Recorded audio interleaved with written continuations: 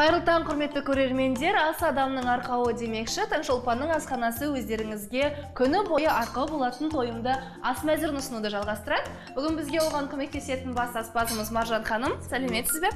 Қалыңыз қалай? Маржан ханым бүгін біз таңшолпанның тұрақты көрермендеріне қандай тағам түрін дайындап көрсетеміз? Бүгінгі дайындайтын тағамымыз клаб сэндвич таңғы ас ә, тез және өте дәмді. Әрі тойымды, иә? тойымды болып жүретін.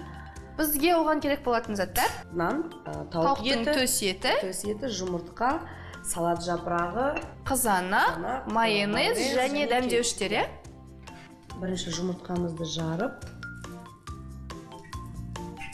бізге тауық етін қуырып алу қажет. Жұмыртқамыз бен тауық еті дайын болғанша біз ә, майонез сіз маған көмектесе бересіз Аха. иә? Мгм. майонез бен әртүрлі дәмдеуші екеуін араластырып бір бір қасықтан алып араластырамыз. Иә тұздық салам бірінші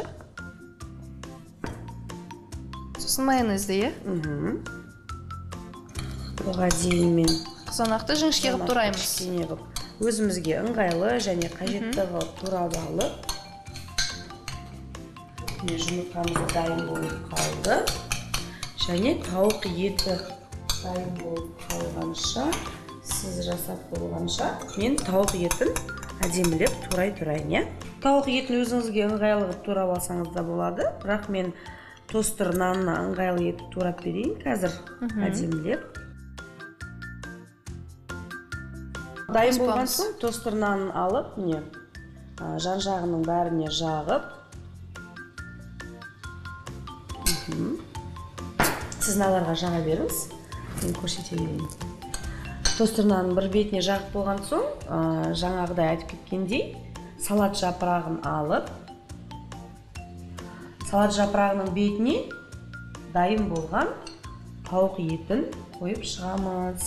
Негізі клаб сэндвичті ең алғаш рет 1700 жылдары 18 ғасырда дайындай бастаған екен. Сол күннен бастап әлі күнге дейін сұранысқа ие. тағамдардың бірі. Клаб сэндвичтің ә, түр түрі болады. Негізі міне ә, жанына жағып алған соң бетіне қойып тағы да салат жапырағын қойып жаңада тураған